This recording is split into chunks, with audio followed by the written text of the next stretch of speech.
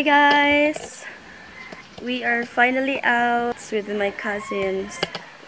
So it's our first laag with family, with cousins.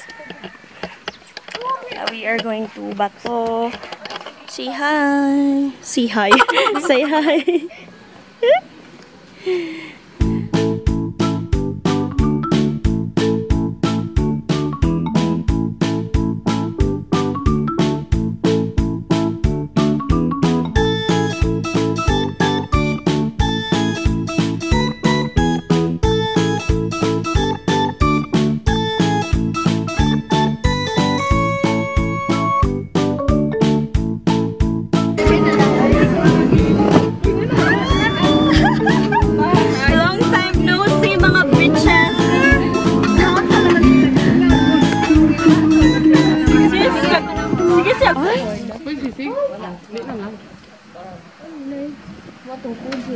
O, dyan gabi eh, na ate. O, dyan na ang kagabi is. Nasa Drinks, drinks, lagot ta dito. Ang balik ka po taon dyan. Oo, drinks, lagot. Opo, may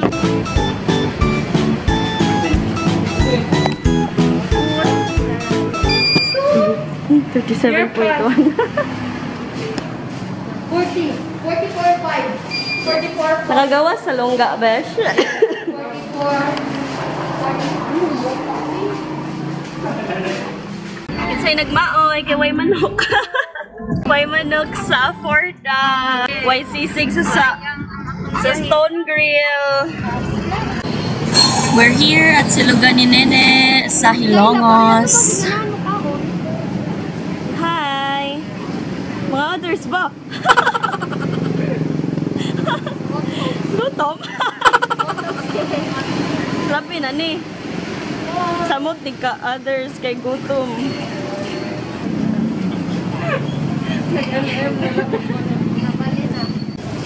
Kalami.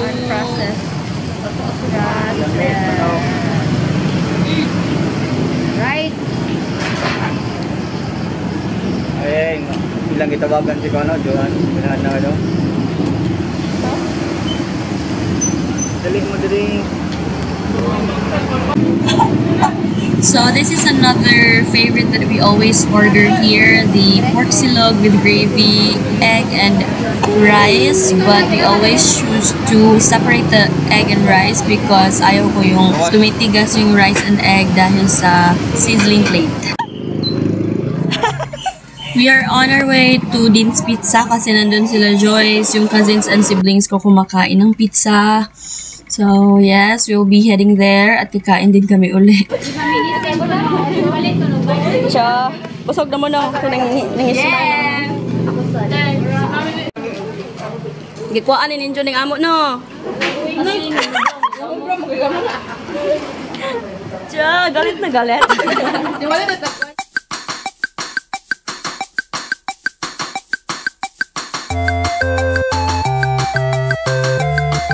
nice mga foods and all.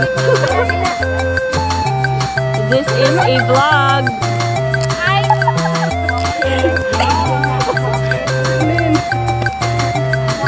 Vlog ni oy mga bubu.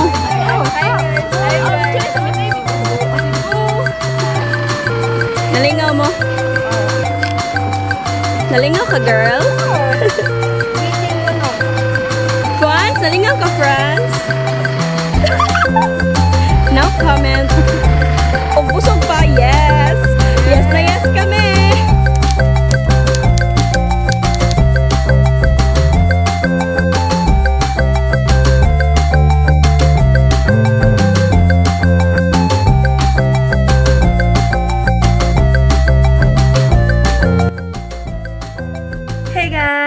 Arrived home safe and sound from Hilongas with my cousins and Frances and Ate Almira plus Nanay and George. So, nag-picture taking lang kami ng very, very light sa Baywalk.